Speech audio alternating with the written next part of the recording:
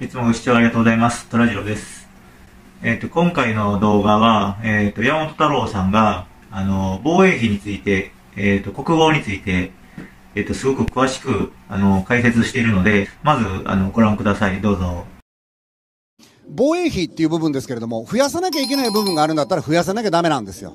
例えばだけれども、自衛隊の処遇が低かったりとか、それだけじゃなくて、自衛隊の住んでる官舎がボロボロだったりとか、彼らの福利厚生ってものがしっかりされてないならば、そこに火をつけなきゃダメなんですよ。自衛隊っていうのは、やっぱりこの国の安全保障。例えば国防ですね。海外云々っていう部分もあるけれども、国内でこれだけ災害が多い国ですから、そういったものに対して、やっぱり命かけて、命を救ってくれる存在なんだから、これは宝物なんですね。ある意味でそういったところへの処遇の改善というのは絶対に必要、そう思ってます。一方で、今日本がやろうとしていることは何かっていうと、アメリカの使えなくなった武器を中心にこれまでずっと買い続けてきているわけですよ。オスプレイなんて誰が買うねんって話ですよ。グローバルホークなんて誰が買うねんって。アメリカがグローバルホークもう使わないってことを決めたからそれを使わせてもらうみたいな話だったり、様々なもうアメリカ的にこれ使わんなっていうやつをどんどんこれ引き受けちゃってるんですね。逆に言ったらアメリカ側もびっくりしてるんですよ。日本側がこれそんなに買ってくるとくれると思えへんかったみたいなね。アメリカ様がいい値で、そして途中で値段変更もあるぐらいの感じで、えーこれ買わされ続けてるんです。で、今回は、えーどうやらトマホークを譲っていただくってことになってるらしいんですけど、これも完全に私は何かしら、アメリカの政権内でいろんな動きがあるんだろうなと思ってます。このトマホークっていうのね、製造してんの今、えーレイセオンって会社なんですよ。レイセオンって会社。で、アメリカ今回、えウクライナによって様々金儲け成功してるんです。もう、いろんな軍産複合体、金持ちになってるんですね。例えばですけど、9.11以降、右肩上がりなんですよ。ロッキード・マーチン、レイセオン・テクノロジーズ、ノースラップ・グラマン、ゼネラル・ダイナミクス、様々こういう状態なんですね。で、9.11以降は、このような、もう右肩上がりっていう状態になってんだけど、これ、様々な人たちが政権の中に入り込んでるってことなんです。例えばですけど、今回ね、この武器対応法みたいなものをアメリカが通して、とにかくバンバン武器売れるようにしろっていう話なんですけど、その中でも、えーかなり、えー大きな売り上げを上げてるレイセオンっていう会社。レイセオン社の取締役っていうのが政治の舞台に上がってきてるんだってことなんです。どういうことかって言ったら、2021年からはバイデン政権でペンタゴンのトップ国防長官になられてるんですよ。ある企業、業界内部の人間を政界内に送り込み、政府内に送り込み、企業、業界内の利益を最大化させるような政策決定に関与させると。このレイセオンという部分も、えレイセオンが作ったこのトマホークっていうものも日本側が買わしていただくということになっていくと。何が言いたいかってことだけど、この今中国とアメリカの戦争を前に進めるような体制取っちゃダメなんですよ。絶対にダメなんですよ。止めなきゃダメなんです。逆に言ったら。どうしてかって言ったら、これアメリカのいつもの商売のやり方だぜってこと狙いは何なのってことです。狙いは何ですか？はい。アメリカの手法です。オフショアバランシング。そしてバックパッシングですってことです。どういうことか？基本的にオフショアバランシング。アメリカは対等する大国。今でいう中国を他国、同盟国が率先して阻止するように仕向けると。必要な場合のみ、米国が自ら介入する戦略。本質的にはこの目的は可能な限りオフショア、遠方、そのままでいることであるが、時折オンショア、近接でバランシングを行う必要性も認識していると。ただしその場合は、アメリカは、その同盟国にできる限り困難な仕事をやらせ、自国の軍はできるだけ早く移動させるべきであると。彼らの主張通りにアメリカがオフショアバランシングをうまく機能させることができれば、争いを避けて自国のアメリカの国力を蓄えつつ、大国同士を潰し合わせ、高みの見物を決め込み、他国が弱体化することによって、自国の国力を相対的に高めることが可能になる。消費する資源と犠牲者を減らすという戦略なんですよ。アメリカが防衛にコミットする領域を制限し、他国に彼らの役割を果たせるよう強いることによって、ワシントンが防衛のために使用する資源を減らして、本国でのより大きな投資と消費を可能にする。そして危険な状況にさらされる米国人が少なくなるってむっちゃ賢いやり方でしょ？散々煽るのに、散々煽るのにこういう手を使ってくると。で、これに抵抗する方法っていうのはすでに日本も過去にやってるよ。これは何かって言ったら、ボーキング。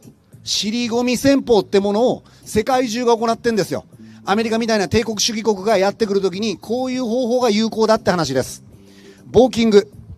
尻込み戦略は、ある国家がアメリカの力を制限するより自動的な方法であり、米国が何かを要求したら、それを拒否するだけである。米国ほど強力な国でも、全ての国に常に言いなりになるよう強制することはできない。また一部の国が渋れば渋るほど、他の国も同様に渋りやすくなる。連帯しなきゃダメなんですよ。やめろ、アメリカ。やめろ、中国って言わなきゃダメなんですよ。この緊張を高めないためには。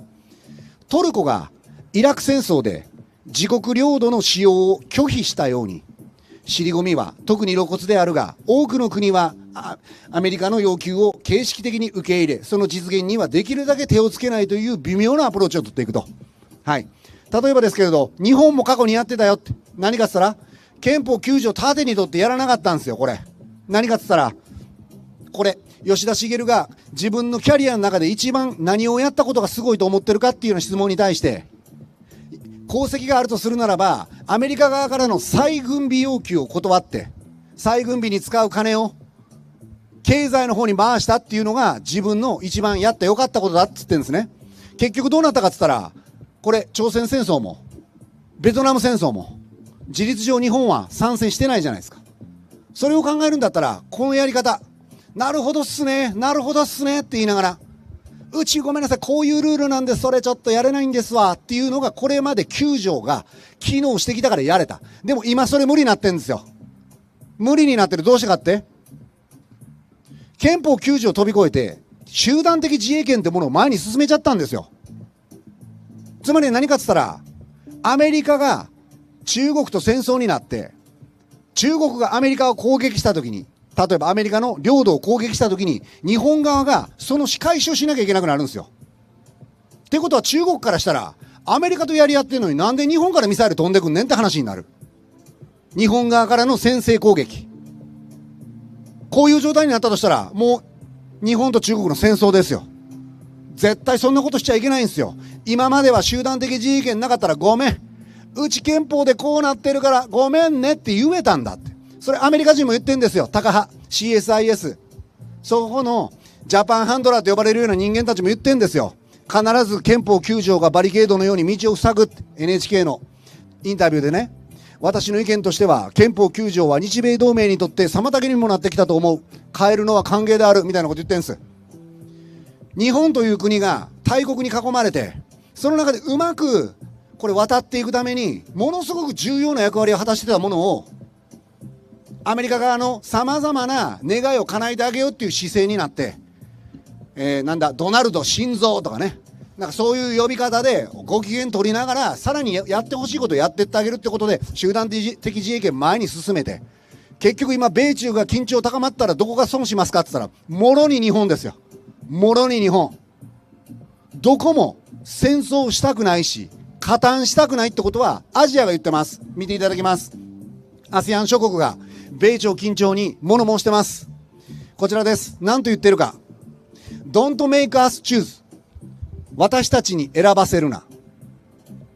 アメリカ？中国？俺らに選ばせんな。厄介なことすんなってことをメッセージとしてメッセージとして出してる。これこそ外交なんですよ。例えば、インドネシアのジョコ大統領。競争や対立をしている時期ではない。マレーシアのマハティール元首相。我々はロシアや中国ともビジネスがしたい。関与したくない。他にもこれは韓国ですね、今年の4月、えー、去年の4月に、えー、開催されたもので、経済大使、外交部、えー、どんな陣営に入ったとしても、中国との協力は不可欠だ。韓国どっちかって言ったらアメリカ寄りでしょ？それ考えたとしたら、そういう戦争になったとしたら、これ、困るわけですよ。中国と、これは協力は不可欠だって。戦争なんかやっちゃだめだってことを言ってる。他にもインドネシア外相、対立に巻き込むな。他にもシンガポールの首相、アジア諸国は米中のいずれか一つを選ぶという選択を迫られていることを望んでいない。他にもフィリピンの国防省、私が心配しているのはアメリカの保証がないことではない。我々が求めても欲してもいない戦争に巻き込まれることだ。他にもスリランカの首相、いかなる軍事対立にも巻き込まれたくない。マレーシアの国防省、大国も私たちの自己決定権を取り上げることはできない。ASEAN 全体外相会議、ASEAN は地域の平和と安定を脅かす争いにとらわれたくない。タイのプラユット首相、ASEAN は誰とも対立しない。スコット・モリソン、元首相、オーストラリア、ワシントンと北京のどちらか一方につくつもりはない。そして他にも元首相、オーストラリア、中国封じ込め論、決して支持しない。そしてオーストラリアの国防省、二者択一を迫るようなことはするな。当たり前じゃないですか。当たり前なんですよ。もう今日は時間がなくて出しませんけど、台湾のシミュレーション、米中が台湾に関して、もしも戦争をやった場合に、机上で、これはシミュレーション繰り返されてるんですね、いくつも。どうかっつったら、ほとんど米軍劣勢なんですよ。中国、中国に台湾は奪われなかったとしても、大勢の人が死に、大勢の感染や様々な被害が大きくて、これは勝ちとは言えない。一方で、その先頭に立つの誰かって言ったら自衛隊ですよ。バカ言うなですよ。そんなとこに出さない。当たり前でしょ外交を駆使しなきゃダメなんですよ。さっき言いました。第二次安倍政権から95回、北北からミサイルが飛んできてる。そして4回の核実験。それに対して、どんな外交をやってますか？って言ったら、中国経由で抗議してます。寝言は寝てから言えなんですよ。直接のパイプを持て。それこそが外交。そういったことを、やっぱり ASEAN の人たちと力を合わせていきながら、アジアで不穏な空気作るなという外交を展開していかなきゃダメなんですよ。話が長くなった。自衛隊の必要な部分なか、必要な経費に関しては、それは上積みしていくべきでしょう。でも、日本はもうすでに、これ、世界で5番目に軍事力がでかいんですよ。そう考えたときに、これどこまで行くんですかってことです。今から射程を伸ばしたミサイルを日本全国に置くそれどこ狙うつもりですかって。中国でしょ？北朝鮮でしょ？そうなったとしたら一気に緊張高まって、下手したらこれ、戦争になりますよ。さっき言いました。2ヶ月中国から8割のものが届かないという状況になっても、53兆円の GDP の損失。戦争に巻き込まれなくても人は死にますよ。絶対にやっちゃいけない。人々の生命財産を本気で守るって言うんだったら、あ、わかった。全然本気じゃないでしょ？だって、撃ってくるぞ撃ってくるぞって言いながら日本海側の原発はそのまま元気にしてるんですから今おかしいでしょ？普通じゃないですそういうことでしたありがとうございます見ていただいた通り本当にあの今の自民党って戦争に本当に進んでいこうとしてるんですけれどもそれを本気で止めようとしてくれてるのが令和新選組なんですよここまで他の国会議員がちゃんと理解して防衛費の増額っていうのを賛成してるのかどうか本当にもう一歩間違えたら戦争になってしまうんでね、もう国民もこれ気づいてほしいんですよ。例えば若い方、えっ、ー、と、今自衛隊に名簿を送られてるんですよね。多分18歳、20歳ぐらいの方、あの、自分のところに自衛官募集のハガキが届いた方もいているかもしれないですけれども、これってもうちょっと戦争に近づいてるんじゃないかっていう、ちょっと危機感を持ってほしいんですね。私のところのお客さんでも何人か聞いてみたら、やっぱり若い子、そういう、あの、ハガキ届いたって言ってますね。あの、エスカレートして、例えば、本当に戦争になりましたと。そして、国が赤紙を送りますということになります。あの、自衛官も人員不足なので、もし戦争になって、本当に人員が足りなくなったら募集されるわけですよね。その募集されるのって、この名簿から募集されると思いません？それがやっぱ怖いところやなって思いますね。知らん間にみんな、あの、自衛隊に名簿を送るぐらい別にええやんって思ってるかもしれないんですけど、いや、よく考えてくれよと。これなんで送られてんねやろなまあ、ここまで誰も言ってないですけれどもね、あの、これは赤髪のためのもんだとか誰も言ってないですけど、もしかしたらそうかもしれないですし、今、あの、マイナンバーカードを作らさせられてることももしかしたら関係してくるかもしれないですし、それは何があるかわからないですよ、有事になったら。もう全てのことを国が把握して、あの、銀行もストップされるかもしれませんし、それはわからないですよ。ちゃんとこれからも政治を見張っていかないと、国民はダメだなと思いますね。これからも政治を注視していきましょう。以上です。ありがとうございました。